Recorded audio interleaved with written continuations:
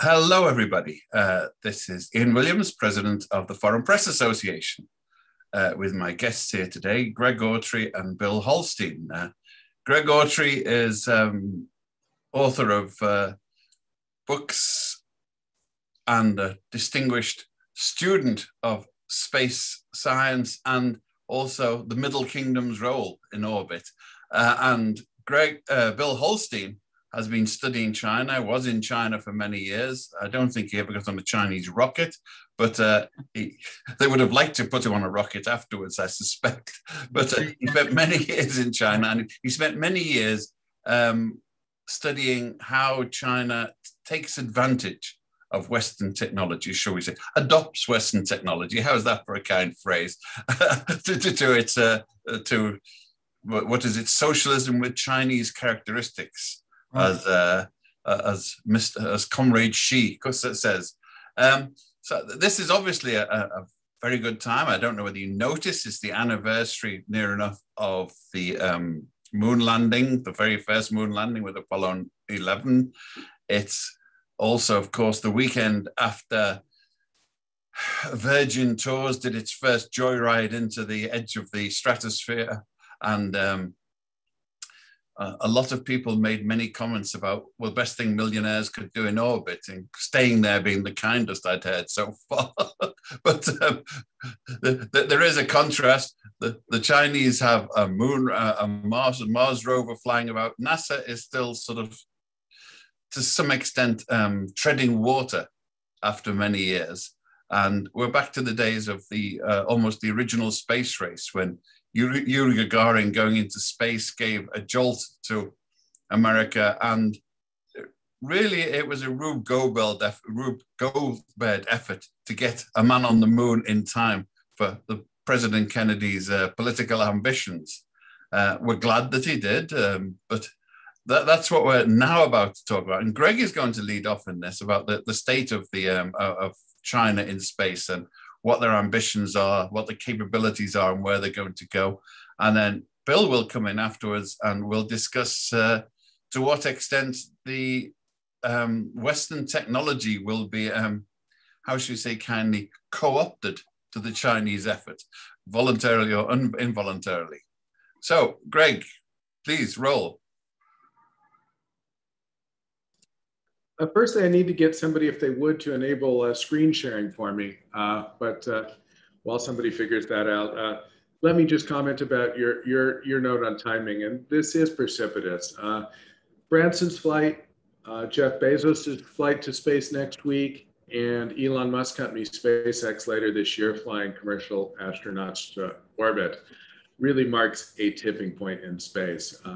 after essentially 70 years in space, we're about to see a existential change in the way that we relate to space. We're seeing a world where real average human beings, albeit fairly wealthy, are going to be going to space. And then you're going to see the price drop. So let's not worry about millionaires and billionaires in space. Let's think about the fact that uh, someday soon. That could be you and I. I think within five years, we'll see this in the sub $50,000 ticket for, for suborbital space flight.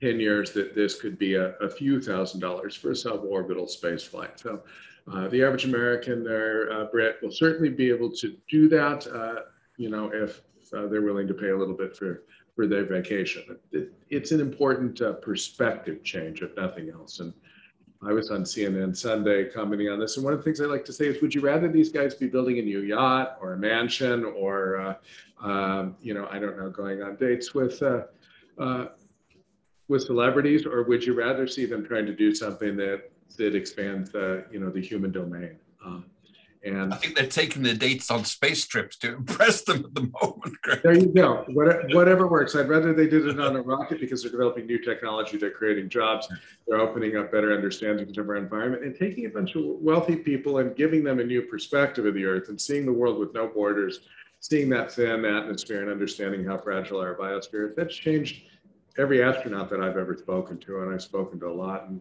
and it'd be a good thing to to send a lot of wealthy people to experience that. With that said, I see my slides are available, so let me share them here real quick.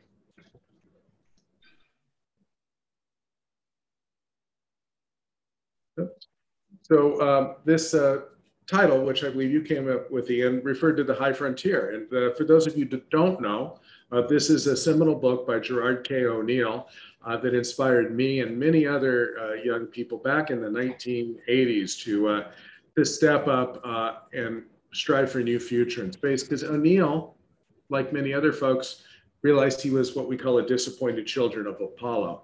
When I was six, I sat there and I saw Buzz and, and Neil Armstrong on the moon. And I was sure uh, that by the time I was 20 or 30, I was going to be doing that too. And of course, it, it didn't come to pass because the government didn't have the incentive or the efficiency to, uh, to open space uh, uh to us all. And, and O'Neill saw a, a private and commercial future in space where people would live and work in space. And there would be a functional space economy, and we would move industry and extractive technologies like mining, and uh, we would move polluting and a large portion of the population off the planet, uh, creating a better environment here on Earth. And uh, he inspired people like Peter Diamandis, who, who started the X Prize, and uh, directly and indirectly uh, uh, Bezos, Musk, and, and Branson today.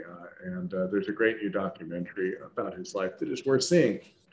Uh, I'd like to point out the space race uh, or age, the space age started in 1942, not 1957, as many people like to think. The first human object uh, uh launched above 50 miles, which is the real, uh, real limit to space, as Mr. Branson knows, uh, was a German V-2 rocket launched in 1942, October 3rd. I can't re resist. There's many a widow in old London town owes her rich pension to Wernher von Braun. I make them go up, and they come down, that's a different department, said Wernher von Braun. Sorry, I couldn't resist that. no problem. And, and that's the point I'm getting to, right? So we, we have alternative futures here. Um, we have the future where von Braun hung out with Disney when I was a kid. We saw him on TV talking about the miraculous future we would have in space with uh, unlimited uh, uh, resources with uh, vast amounts of, uh, of domain to conquer with power and, and, and a, a, a, bold new world we would live in. then you have the von Braun from 20 years before that with his SS minders. Um, and we could have gone either way. Any of you that might watch the uh, this show, Man in the High Castle, you know that's that's the future we we, we could have had. Uh, but, but for a hair's breadth. Uh, von Braun and his team not only had the V2, uh, they had a space plane design that was going to be able to skip off the atmosphere and drop the Nazi nuclear bomb on, on the east coast of the United States. And uh, if they'd had another five years, uh, they probably would have been able to do that. Uh, other alternative futures, we could have had the Soviet Union in space, and I think nothing speaks more about uh, uh, how authoritarian regimes uh, respond to uh, the success of a free world uh, development than the, the Soviet space shuttle there on the right, which is just frankly indistinguishable from the American space shuttle on the left. Luckily, the Soviets ran out of oomph and money before they managed to expand the, the Soviet view of, of politics and society into our solar system, because I don't personally. Think that would have been a particularly good thing. And now we've got another alternative future choice between the, the US led uh, Artemis uh, program, which brings together uh, a number of uh, other nations in an effort to uh, explore and commercially develop the moon, uh, or the, the Chinese Russian conglomeration on the moon, which is working to try to bring in international partners. And you know, there are some countries who will be eager to sign up on that because they'll see see Chinese money. And this is the scary thing: the difference between what we had to face with uh, the Russians and what we had to face with the Chinese is the Chinese are not going to run out of money. That's one thing that's not going to happen because we keep giving it to them, right? Can you imagine if during the the Soviet Union US space race if we were buying most of our products for the Soviet Union. And if Goldman Sachs and uh, venture capitalists on Sand Hill Road in, in uh, Silicon Valley were lining up to throw money at the Soviet Union to help them develop better technologies. Uh, that's the, the situation we're in. And, and that's scary because, frankly, the, the Chinese political and uh, and cultural landscape now is, is much worse than the Soviet Union. So Artemis has uh, 13 nations, as I mentioned, the UK Space Agency, the Japanese Space Agency, Australia, New Zealand, uh, Brazil has recently signed up. The UAE is very excited about this. Uh, and I think we'll see even more nations uh, piling on to that. And this is a set of accords for within the role of the Outer Space Treaty, the international governing law, for these countries to work together in uh, developing the moon sustainably and for commercial purposes. Uh, you can imagine how China and Russia will try to do it just by looking at their leadership. And uh, again, uh, I don't think that's a good thing. I'll let Bill talk more about that, but I, am sure you're very aware of, uh, of what's going on as far as crimes against humanity in that, that regime. And you, you mentioned socialism with Chinese characteristics, like Xi likes to say. I, I would say it's national socialism, Chinese characteristics it's important to realize the Chinese are not communists. They've got the hammer and sickle, and they, they, you know, they bow to that uh, that marketing campaign. But they're they're actually a fascist regime, and they, they fit very closely to uh, uh, the German or Japanese Empire of the 1930s, which is sadly ironic. Uh, this is the worst mistake the United States ever made. Does anybody uh, recognize who this gentleman is? If you do, pop his name into the chat for me. Give you a second. No prize winners so far? No prize winners. Okay. So this was a Chinese scientist uh, who came to the United States on a scholarship that the US put up in order to repay China for the Boxer Rebellion reparations. The European powers had insisted China pay reparations for the European cost of putting down the Boxer Rebellion in, in China. And the United States received that money, but President Teddy Roosevelt said, we don't, that's not our money, that's the Chinese. And he, he turned it into scholarships to educate Chinese students. Uh, this scientist came to Caltech, where he became a leading uh, international rocket scientist. And if you look at that picture on the left, you see him actually explaining how to build a, a suborbital space plane that would fly from the United States to, uh, to Paris in, in 45 minutes. And his design later became a project called Project Dinosaur, which later morphed into uh, um, the space. Uh, we, we, have a winner. We have, we have a, winner. winner. Nami Goswami, yes, uh, one one of my colleagues uh, whose work I greatly admire and, and, and strongly recommend her new this book. Is insider trading, does it count? But anyway, we expect informed people at a, an FPA event, don't we? So, what is also interesting is at the end of World War II, the United States sent this Chinese national to Germany and they made him a United States military officer. He was a lieutenant colonel in, in, in, the United States military and what was then a segregated military, sent to Germany to recruit rocket scientists, uh, including uh, von Braun in Operation Paperclip and bring them back to the US. Amazingly, when he applied for citizenship to the United States in 1955, the FBI did a background check discovered that he had attended one meeting of the Communist Party in Pasadena sometime back in the 1930s uh, and uh, locked him up in Terminal Island uh, uh in Long Beach uh, and then put him under house arrest for many years and then traded him to, against his will to the Chinese government in exchange for five American pilots captured in Korea. He, of course, went on to found the Chinese space program and the Chinese ICBM program that, that threatens family and I every day. Around comes around. Yeah, uh, this was the stupidest thing this country ever did, said Dan Kimball, uh, U.S. Undersecretary in the Navy. Uh, but uh, that's how it got started. Today we have Chinese uh, rocket companies launching commercial rockets, right? You might have seen uh, the, these stories popping up.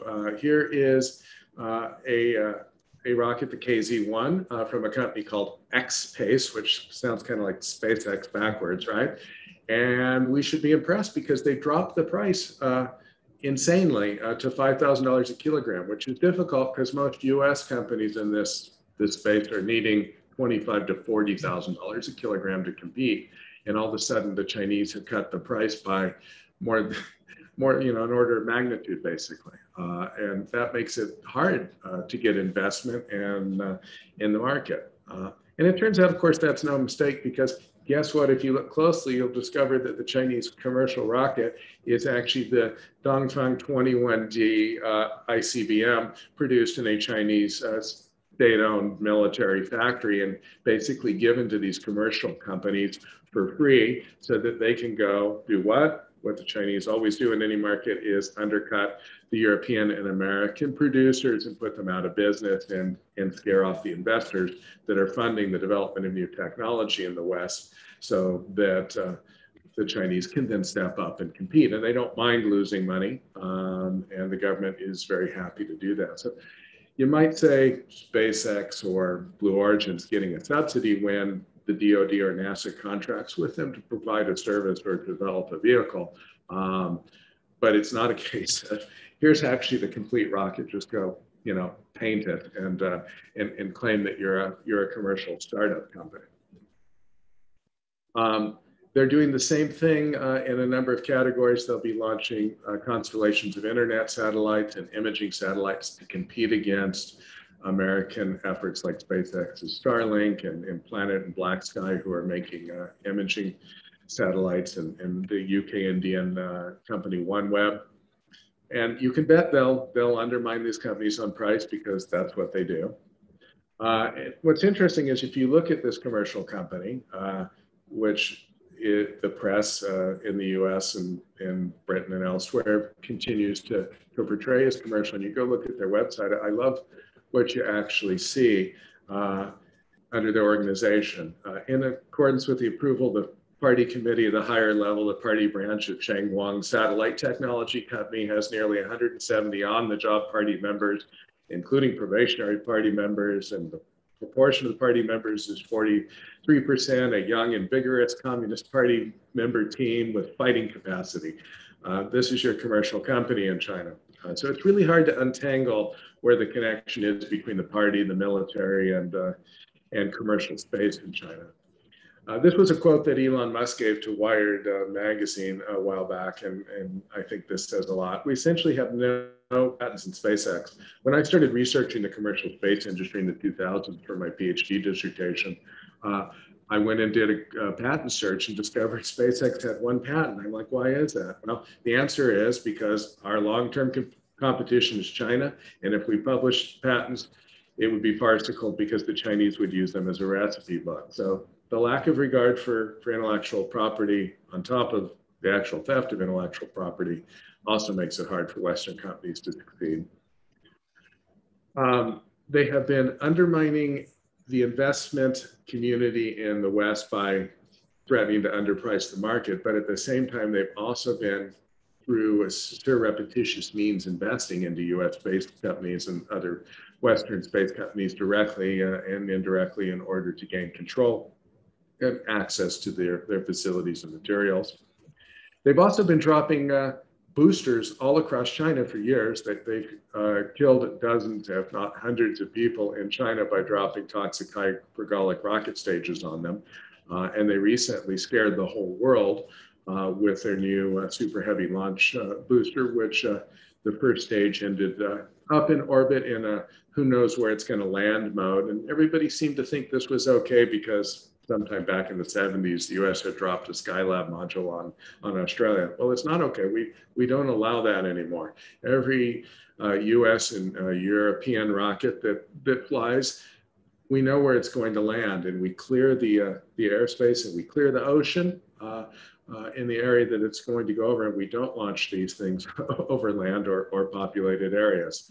Uh, the FAA makes sure that you've got a one in a million chance of an interaction between a, a rocket stage and a aircraft or, or a ship at sea. And uh, some people want to increase that to one in a billion. NASA, when they launched the space shuttle, would clear air traffic, for instance, uh, all the way to North Africa and Southern Europe before those launches. Uh, one of the things that's been really interesting to see is that the Chinese have cleverly found out that they're not necessarily welcome inside at least US companies and in many UK companies. and there was a company called Global IP that was uh, uh, working with Boeing to develop a satellite, and they ended up falling under the control of basically the Chinese Communist Party without knowing it through a series of intermediary companies that were introduced to them by investors from Hong Kong and then appeared to be companies from the British Virgin Island and, and banks associated with that company. And all of a sudden, they found that six of their nine board uh, members. Uh, As I told Greg, Greg, they, were, they told Boeing they were going to build these satellites and use them to provide internet communications in Africa. That, that was the cover story, as I recall. Indeed, the, the, company probably did have that plan, but the company then found out that they were controlled by the Chinese, and uh, and Boeing had to uh, to cut them off. But it ended up being a shocking embarrassment uh, and potential security lapse for Boeing. But this is happening all the time, uh, and it's a, a area of great concern. Uh, I do like to point out that the way we got here had to do with uh, our, our, friends on Wall Street and Silicon Valley deciding that if you opened our markets up to China, we would all get rich and that the Chinese would, would liberalize. And they sold us that story for like 30 years.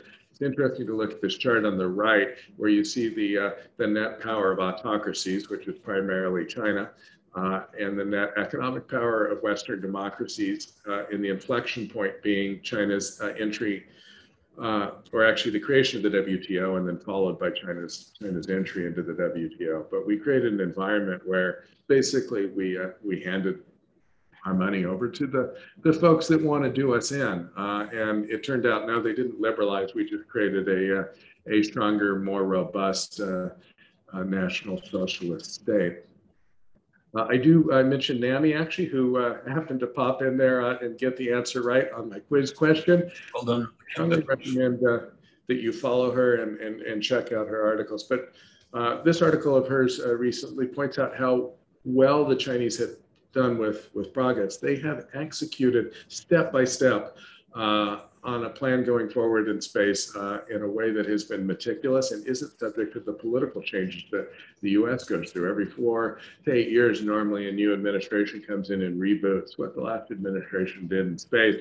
Uh, and we have to start over. One of the reasons we've, we've not really gotten anywhere since the Apollo program uh, that Ian pointed out. But I'd say NASA is not adrift now, Ian.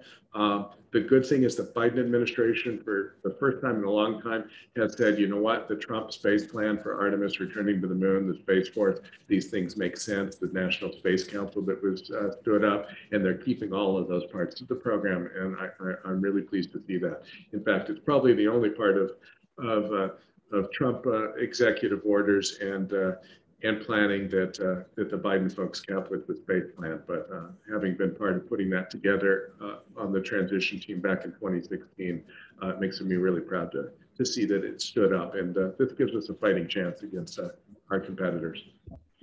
All right, that's what I had to say. Thank you. Well, that's um, a a chilling but exciting um, run through the houses. It's it's not just Americans. Uh, many years ago in Liverpool, which was the home, believe it or not, of the British Interplanetary Society that Arthur C. Clarke belonged to when he was inventing geosynchronous satellites. Uh, one of the original founders told me they'd gone to the British government uh, with plans for rockets just before, just as World War One, had, World War Two had started, and the Treasury told them that this was fantasy and they didn't deal with it. I do hope some of those V1s and V2s hit the Treasury building afterwards so they could swallow their, their fantasies in full measure. Dealing with totalitarian regimes is always a difficult problem, especially for fusty bureaucrats who can't believe that other people don't do what they're told. You know, Robert Goddard, who invented the liquid propulsion rocket engine in the United States back in the 20s, actually reached out to the uh, Smithsonian Institute uh, and, and was amazed that he got $10,000 from the US government. Uh, von Braun got the equivalent of about $2 billion in today's dollars from, from the Nazi regime. So, yeah, there, there's an imbalance there. Uh, As they come down, so it's a different department von Braun.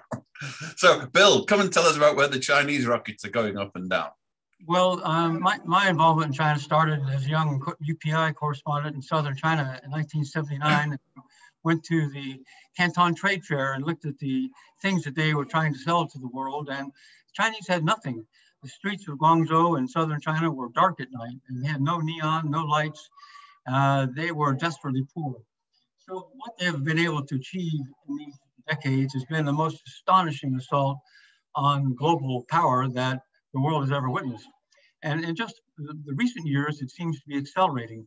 My, my takeaway from what they've achieved in space recently, they put a, a craft on Mars and they've been able to send back images from the surface of Mars. They've landed on the dark side of the moon. They've had put up their own space station, their own space station, had their astronauts uh, walking in the, spacewalk. So this represents the, the, core the core technologies involved in this. We, we know there are semiconductors, computers, and satellites, long-term communications, but it's, it's an astonishing assault on, on the technological leadership that the United States has displayed. To me, this is every bit as stunning as what Sputnik achieved in 1957 and started the American uh, revival and, and John F. Kennedy saying, let's put a man on the moon. So the, the astonishing technological leadership that we've seen demonstrates to me that the Chinese are on par with us now in many technologies. They're still clearly behind in semiconductors, but are working hard in that. And in some areas, they're ahead of us, so, such as 5G telecommunications, wireless communications. So the we should be looking at their gains in space here as a real wake-up call, and we should be implementing a, a, an emergency national program to stem the loss of our technology. Uh, it, it, appears to me, and I think Greg would agree, that, that the majority of these gains in recent years have been based on uh, American and Western technology. They have created a system where they can watch our laboratories and watch our uh, institutions as they develop new ideas. And then they can exfiltrate those ideas and develop them faster in China because of the billions of dollars that the Chinese government is putting forth. They don't have the problems of having to secure venture capital funding and, and go through multiple rounds of that and have such a high rate of failure. If the Chinese government decides it wants to put money behind the technology, billions of dollars flow in a very, in very short order. And what Greg was describing about what they're doing in our space program is very similar to what they've done in solar and electric vehicles and other. If, if the Chinese state-led model, it is a state-led model, and there's been a fusion of the party and the military and the civilian government. They call it the military civil fusion. If, there, if that model is working so well, it's hard to see how we can stop them in space unless, unless we figure out a way to stop them on Earth.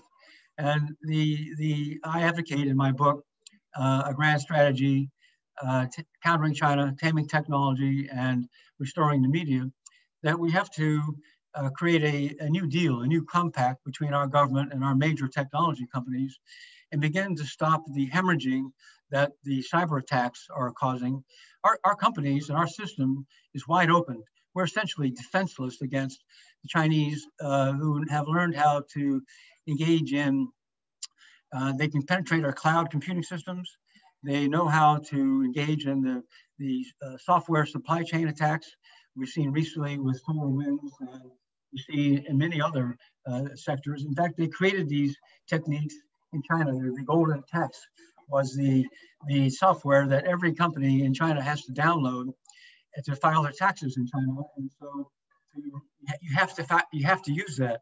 And so over time, they started downloading malware and did updates on the software. So the Chinese have penetrated our, our IT systems through partly through our American companies in China, but also their Ministry of State Security is openly using tools in the United States to look for unidentified or known vulnerabilities in our software system. Then they can place uh, Trojan horses or shells in those uh, companies and, and, and get access to them.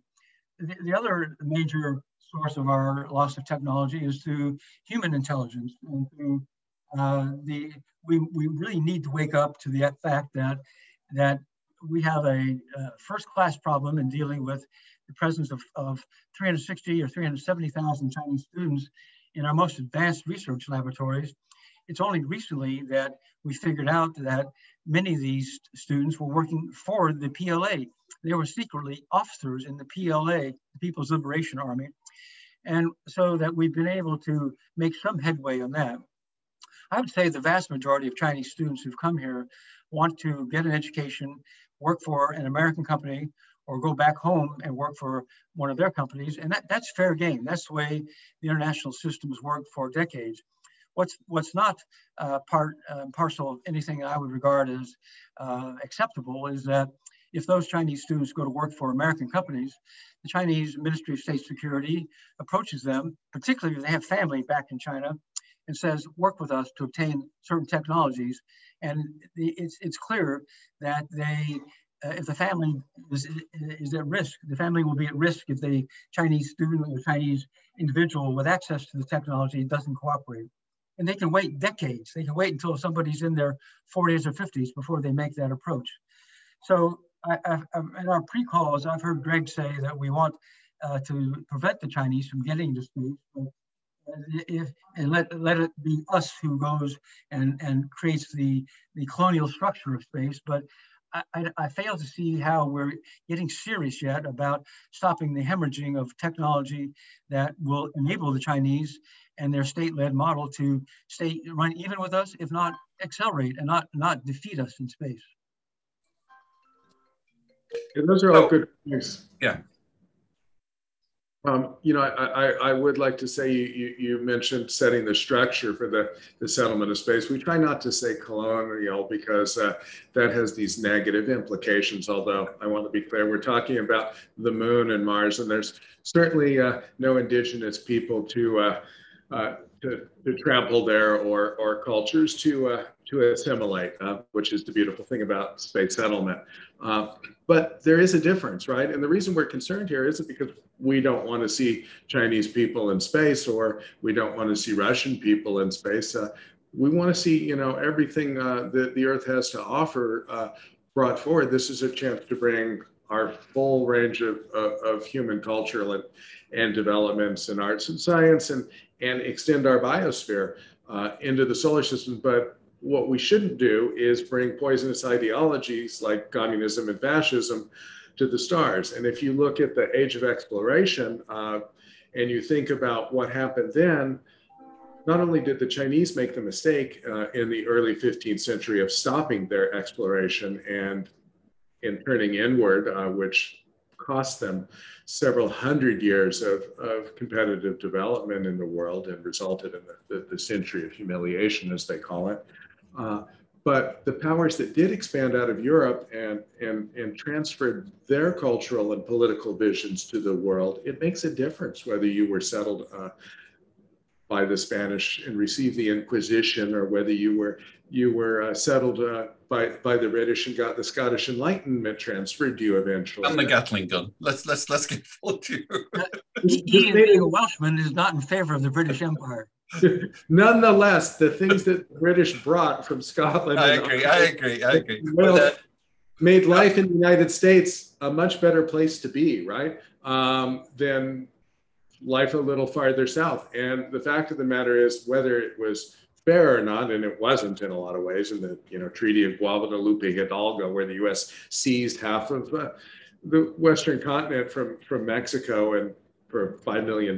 What wasn't fair, but the fact of the matter is people are trying to go across the border from the south to the north because of Not those the other way around, yes. And economic values that came from Adam Smith and uh, and the philosophers of, of, the Scottish Enlightenment. That was valuable. And so it makes a difference. And what we don't want to do is, is transfer the gulags and Laogai from uh, from Russia and China into space. Uh, we don't want to see people in concentration camps because of their religion. That's got to stop. Well, Greg, you when, outlined... when we were discussing this earlier, we, we, we were talking about um, the, the, the, various state models, but in particular, uh, you mentioned you produced the cover of the book on the high frontier, and I brought it up because I thought there were parallels. The, the high frontier was written, and there was people of, of all people forget that the Star Wars program was essentially an attempt by space enthusiasts to hijack the enthusiasm for the military to get into space on the on, on the back of the Star Wars weaponry uh, because they couldn't see that we'd be able to persuade the establishment um, to waste so much money as the British Treasury would have seen it. But if you say, "Hey, there's there's commies up there," they, they put the money in to get the missiles up. So, to what extent can we can that syndrome be replayed now to make sure that the US and the West put commensurate effort into getting into space because it's not so much, uh, you, Bill, you mentioned stopping the Chinese. Isn't it another way of looking at it in the full spirit of competition is to go further and faster than the Chinese? How do we do that? competition is good and i can say from you know having participated in policy conversations having that threat uh, particularly if it's an existential threat is is really really compelling. And if you i wrote a book called death by china and that was 10 years ago. When i went and knocked on the halls of congress there were a few members of congress who wanted to talk to me about that. I was trying to talk about the space threat back then there's a whole chapter in the book on that uh, mostly I got that the Chinese are our friends. We're engaging with them economically. It's creating jobs in my district. I'm selling them pork or something, and uh, and uh, we don't want to hear that, right? Now it it's all changed, and I, I I rarely meet a member of Congress or a member of the administration on either side of the the uh, party lines that if they've had a secure briefing on what's going on, uh, that they're uh, in lockstep with with what I wrote in my book 10 years ago. They they all get it now. So this this is good. Um, Bill Nelson, uh, uh, the NASA administrator uh, who was appointed by Joe Biden, uh, recently went to Congress and he was asked about the Wolf Amendment, which Frank Wolf put in back 10 years or more ago when the period of time when I wrote my book to stop NASA from having any cooperative agreements with the Chinese because we knew they would steal our our, our, our IP. And Nelson said he hoped to make the Wolf Amendment permanent because clearly he, he sees the same problem that everybody else does. So it works. You're right on, Ian. So, so Greg, I mean, you in your uh, presentation you outlined how the Chinese are using some of the same techniques we've seen in solar or other, sectors. They are driving down the price of uh, sending cargo into space by an exponential basis. Obviously, it's not cost effective. They can't be making money. They're they're taking a loss to do that. They are taking things from the military sector, taking rockets from the military sector, and allowing the private sector to commercialize that. We, we don't do those things. I mean, their, their model, the, very, the state-led model has enormous power uh, and I, am not hearing from you how you really think they can be stopped. I mean, what? How do you think they can be uh, tempered? How, how can how can you get in front of that freight train and stop it? Well, that's an excellent question. But the first thing we've got to do is look at our investment markets. As long as Goldman Sachs and Sand Hill Road uh, Silicon Valley want to send uh, literally billions of dollars of American capital, as long as uh, our stock exchanges allow Chinese companies to come list on US stock exchanges without being subject to the same accounting oversight rules and, uh, and regulations that, uh, that other Western companies are allowed to. I mean, a European company can't list on the New York Stock Exchange without having its books audited and without having an actual corporate governance structure where the shareholders have something to say. But for some reason, Chinese companies like Didi, uh, you know, the uh, the company that stole Uber's model, they're allowed to do that. And then guess what? the Chinese Communist Party devalues them by 25% overnight by, yeah. by getting their app out of the market. So th- that's got to stop. And the U.S. has got to pass laws. And there's been some movement and some executive orders from both the Trump administration and the Biden administration to restricting at least companies that are associated with the Chinese military from raising capital in the U.S. But we've got to be more broad about that uh, until China changes the way that it works and you know provides a, a reasonable degree of, uh, of corporate oversight and, uh, and participation that's in line with Western norms. And from the audience, Peter Garretson wants to know how do you... Ian, may I follow through? Yes, one of the sectors I'm watching is semiconductors, and the Chinese buy two to three hundred billion dollars a year worth of semiconductors, and, and much of that is designed by Qualcomm, made by TSMC in Taiwan, buy from the Japanese, buy from Taiwanese. So do you see any evidence that these semiconductors are showing up in the Chinese space program? It seems to me inevitable that they must be showing up. Have you seen any clear corroboration or any clear evidence that yes, these semiconductors are going into the Chinese space program? Uh, I can't prove that, but like you know, and I know, um, they're going to utilize whatever technologies they can get a, a hold of to move their program forward. So until one of their boosters crashes into New York City and we can analyze it, Uh, probably, probably don't. Let me look up at the sky. we don't know for sure, but I can, I can just tell you that the, the, the folks in San Jose, California, are just eager to connect, uh, uh, you know, American uh, grad students and rocket experts with the Chinese and, and, and send the money to go build the thing in China uh, because that's how they do everything. You know, they they you know build the iPad there, they build the iPhone there, and heck, you can pollute the the environment and, and you can beat up the, the workers if they try to unionize. So why would you want to build a rocket in the United States? It's like the old uh, cartoon of we have met the enemy and, and they are us. That, I mean, the idea that Intel or Qualcomm or NVIDIA would uh, refrain from selling, refrain from selling semiconductors in China, even the most advanced ones, is, and that somehow they, they would coordinate with the US government or U.S. intelligence agencies to limit the most advanced technologies, that's that's anathema. I mean, that people people both in Silicon Valley and in Washington, I suppose, would look at you like you were a madman if you suggested that there would be a conscious effort to restrain the kinds of technologies that are flowing into Chinese military and Chinese space program. Do you agree? Well, th- th- there we get, in, in the words of uh, Comrade Xi, perhaps, the dialectic. How do you reconcile the contradictions between emulating the Chinese state model and keeping an open and democratic model. How do you beat them at their own game without becoming them? As you well, say, have, how, how do you stop becoming, you know, when, when you become the enemy, is it a victory? Well, we have to maintain, of course, the, our, division, our, our separate and distinctive differences between the public sector and the private sector, between uh, what the government can do in a cooperative basis versus what it dictates. We, we don't want the government to be putting Communist Party cells in, in Intel or Boeing, but there, this, it seems to be that we, to me, that we need to have a, a, greater degree of cooperation, a greater degree of defining that we have a common common goals. And so far, it's not, it's not been very evident to me that this level of recognition is sunk in in, in, in Washington or Silicon Valley. Well, that leads into Peter Garretson's question. Uh, how do you measure how serious we are? What is the bar? What are the metrics for saying that the US and the West are taking this problem seriously in, in respect of uh, not just stopping, but surpassing the Chinese successes? There's some early signs that the Biden administration is passing $250 billion for technology, $50 billion of which is for semiconductors. They are, they are working with allies in a way that we haven't seen in a while, We're coordinating with the Japanese and South Koreans. And uh, so there, there are early signs that, that they, they get it, the early signs that they are uh, on the right path, but they're going to have to uh, get uh, much more serious about it and accelerate not just the amount of raw money, but accelerate the, the creation of cybersecurity. We, as I said earlier, we're just wide open uh, there's been talk about creating a Department of Cybersecurity uh, at the cabinet level, which would make a lot of sense.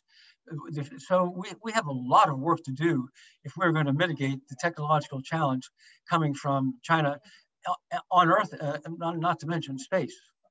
Well, some of the questions that are coming in there, I'm going to coalesce them. Um, it's a question of to what extent do we cooperate? We're cooperating we got no option. We're hitchhiking a ride on the International Space Station with the Russians so far. To what extent do we want to continue international cooperation, like with the Artemis program, without uh, giving away the store at the same time? And it, yeah. it, it's a dilemma because we don't want to get we. There's signs of a developing Cold War, which might be a spare to the space race, but we don't want a hot war, which is a bit of a bummer as far as space races go. Yeah, the first thing I want to point out, a lot of people point to the successful Russian cooperation, right? Which, uh, you know, has been good to see. And the astronauts who spend time on the station and the American scientists at NASA who work with their Russian colleagues, it's a, a very good relationship. Uh, and it, has been successful at the technical level and operational level. Uh, at the political level, it's gotten more and more complex. And this is because the Russians that were in bed with in ISS were not the Russians we signed up with in, in 1995 when, uh, when we made the ISS deal. There's no way that the United States would have made that deal today with the Putin regime that they made with the Boris Yeltsin regime when we assumed that the Soviet Union had collapsed and the Russians were aspiring to join uh, you know, the comedy of civilized nations uh, in, in creating a, a new world order that was, that was going to be constructive. So we've continued the relationship because there's a sunk cost and you've got a $130 billion uh, uh, investment up there, of which $100 billion is American taxpayers. Uh, and as you noted, we did have to take rides from the Russians. We don't have to anymore because Elon Musk has solved that problem for us. Thank you very much for a very reasonable amount of money. And Boeing is about to, this month on July 30th, launch their uh, crew capsule uh, for their second test. We, America can take care of that. So we don't, we don't need the Russians. We sure as heck don't need the Chinese. The question is, would there be an advantage in, quote, cooperating with them? In my opinion, unfortunately, you legitimize them by cooperating with them, and you expose yourself to constant technological threat. The other important thing is the Russians actually had space technology, right? Korolev and the Russians and uh, went and got Germans just like we did, and, uh, and, and they developed their own space technology. And in some cases, their stuff was better than ours, or at least more practical. They still better scientists. Yeah, exactly. Uh, so it made sense to team with the Russians. The Chinese, at this moment in time, don't have anything to offer us that we don't have. All we do is expose ourselves to, to technology transfer. So I'm not excited about that. And I'm just not excited about, uh, you know, singing kumbaya with people that have a million people in concentration camps because of their religion, are killing them and are selling their organs through a, a military connected uh, uh, hospital system. This this is crazy. We would even have that conversation. In, in terms some of, in some senses, we're already seeing the bifurcation of the so-called global economy. We all believed in globalization. That if we had our, our companies, our companies would transfer technology and finance and people and resources across borders, and wherever that money went, wherever the technology went, as long as shareholders were rewarded each quarter, it, it, all, all boats would be lifted by the rising tide. And now we're seeing some stresses and strains develop as the Chinese crack down on Didi. That's what the crackdown on Ant and Didi were very important. The Chinese are demonstrating that they want to be, the Chinese government is demonstrating that they want to be in absolute control of all Chinese entities, all Chinese corporate entities. And you can see that the Biden administration is beginning to put more Chinese entities on, involved in the military and in Xinjiang on their so-called entities list. So you can see how there is uh, there are stresses and strainings building on the whole concept that we can have a, a full and robust engagement with everyone in the world and and it, and we'll all uh, benefit from it.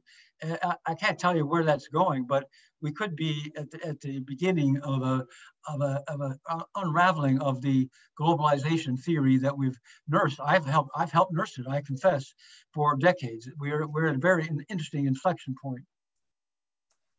Yeah, um, we are the, the inflection points are there because we're talking about power now. Now, you know, the, I don't know whether you saw it. There was a very good comedy series on the space on, on the space force, which showed some of the you know pretensions, but at the same time it was there. And uh, I don't know where the space force is going, but uh, and I don't know how it reconciles with the International Treaty on the Peaceful Uses of Outer Space.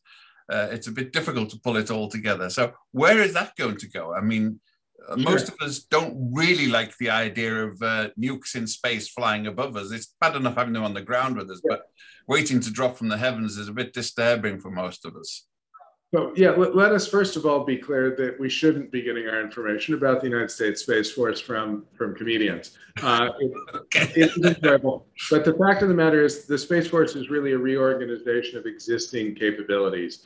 The Russians, United States, Chinese, British, and many others, of course, have military assets in space, which are perfectly legal under the Outer Space Treaty. These are observational satellites and uh, communication systems that we depend on uh, to make sure that, that our troops can execute their missions on the ground.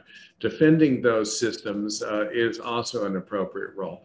The treaty only bans the orbiting of nuclear and weapons of mass destruction. And that is a good part of the treaty that uh, everybody wants to keep and the United States is absolutely committed to.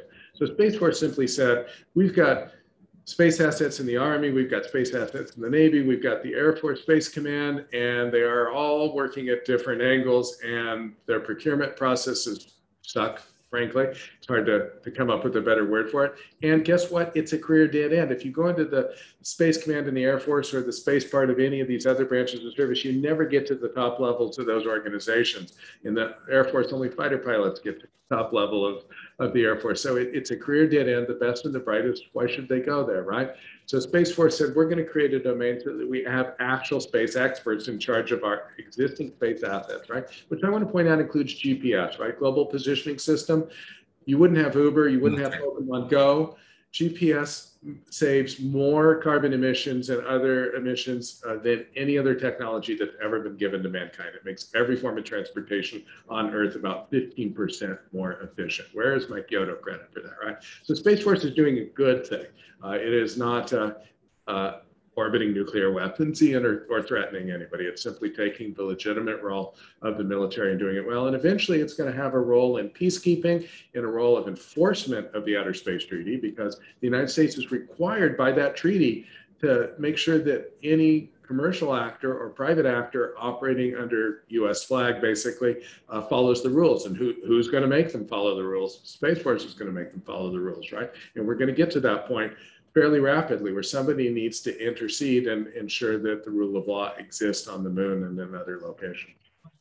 Greg, I'd like to ask you whether you believe that the dynamism we're seeing coming out of uh, Jeff uh, Bezos and out of uh, our other uh, uh, billionaire playboys is that going to, is that energy is that is that dynamism going to be shaped into a government led or government um, monitored program to accelerate our space activities, or, or, or do you think that they're just uh, playing playing ego tripping games, massive ego masturbation games? I mean, is that uh, what uh, is can the government capture that entrepreneurial energy? Well, um, yeah, that, that's a really good question. The, the, the first question uh, about the egos, my colleague Laura Huang from Harvard and I are writing an editorial for foreign policy on that right now, so look for it.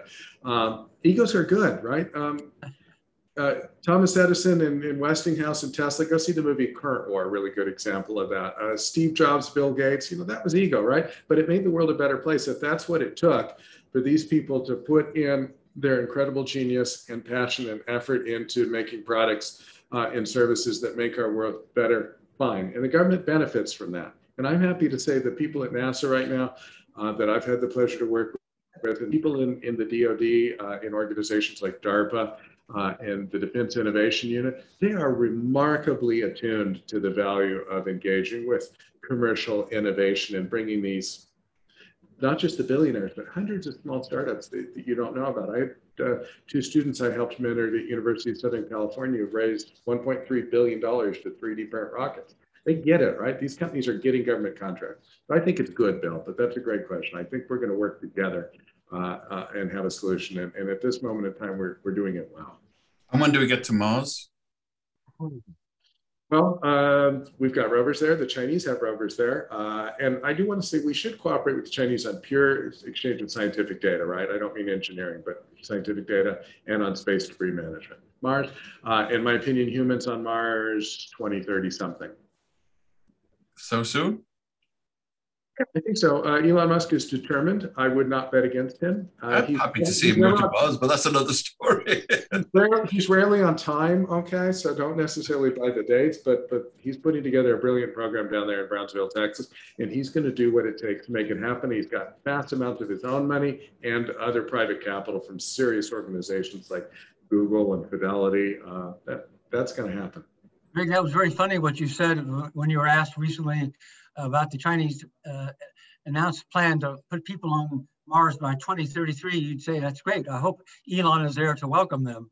in, in, indeed, yeah. And you know, frankly, they're free Chinese. Uh, um, you know, we, we, can all hope that eventually uh, we, will we'll see a change in what's happening there, because the ingenuity and the determination of the Chinese people uh, uh, particularly when it comes to commerce and technology, is amazing. Uh, it's just it's just a shame how uh, their current leadership is redirecting it into nefarious means. Yeah, I mean, it's whatever you think about it. It is uh, as as the other chairman said, the, the Chinese people have stood up. I mean, it's uh, they've really put the rest of the world to shame at the way they've turned. Uh, I have to, um, we're about to round up, but I want to tell you, we're going to the real high frontier at the next one on the 27th at 11 a.m. We're speaking to people from the Polar Center on the future of the Arctic and the Biden Putin summit, because the Arctic and the Antarctic are pretty much like outer space. Uh, it's, uh, it's, it's wild and uncharted territory and a potential source of conflict. Uh, after that, August the 5th, we have a continuation of this Beyond Earth uh, with Tony Duttor and John Mankins on uh, the, once again the commercial exploitation of space. And just as a special, September the 9th, uh, Tom Osborne has written a book uh, on a decade with Peter Jennings. And for those of you who don't remember, Peter Jennings was an anchor person seriously concerned about foreign affairs uh, in the days before Fox and other people who uh, witlessly ramble on. Uh, so that's what we have coming up. Uh, we hope we'll see you at those. And I'd really like to thank, I think it's been a very stimulating discussion um, fr from both of you. And I hope the, uh, the audience out there realize, uh, thought so as well. If any of you have any questions, uh, we'll pass them on, uh, or if you can get there. And see, um, we'll continue this discussion because, hey, the Foreign Press Association, who knows, we're the future Interplanetary Press Association. Um, we'll accept Martian correspondents as long as they pay their dues in dollars. So uh, thank you very much, both of you. Thank you very much, everybody. Uh, and let us hope that, um, I don't know, I'll, see, I'll, I'll, I'll get in touch with Richard Branson and see if we can get a press, uh, a junket up on his next on his next rocket. Now he's tested it first. Yes. Well, thank you very much, everybody. Thank you. Thank See you, you soon. Bye. Thank you. Thanks, Bill. Bye bye.